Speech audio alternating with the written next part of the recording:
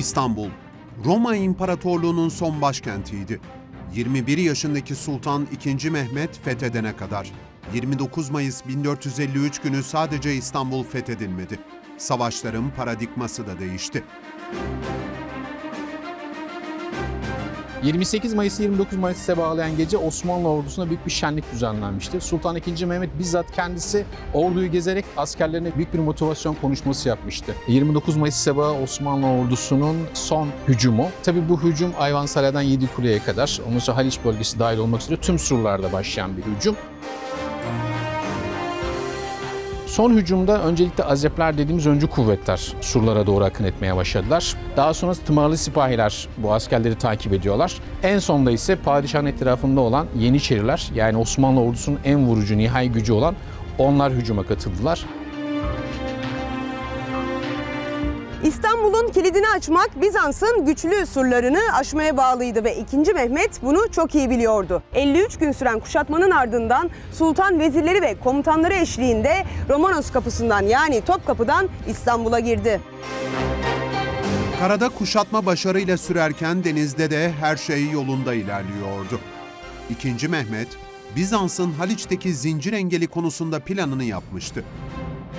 Hiçbir engel onu durduramadı. Sultan II. Mehmet daha önceden hazırladığı büyük planını uyguladı ve 21 Nisan'ı 22 Nisan'a bağlayan gece 70 kadar gemiyi karadan yürüterek denize indirdi. Böylelikle kuşatmada yeni bir hat oluşturuldu. 29 Mayıs sabahı Osmanlı gemileri yan yana dizilerek e, surlara doğru bir köprü oluşturmuştu ve Osmanlı askerleri bu köprü üzerinden surlara doğru hücuma girişmişti.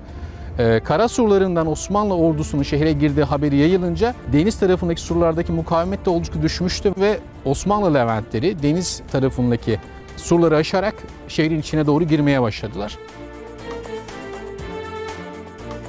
Topkapı surlarından şehre giren 2. Mehmet artık Fatih Sultan Mehmet'ti. Yanındaki vezirleri ve askerleriyle birlikte 29 Mayıs 1453 Salı günü doğruca Ayasofya'ya geldi ve burada şükür namazını kıldı.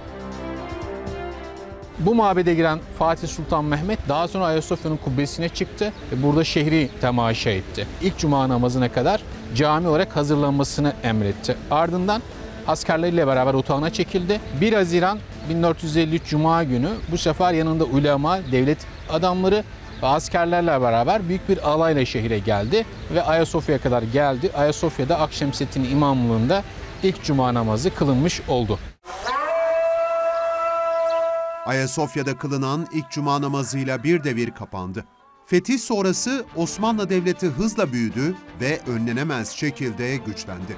İstanbul'un alınması dünya tarihinin akışını değiştirdi.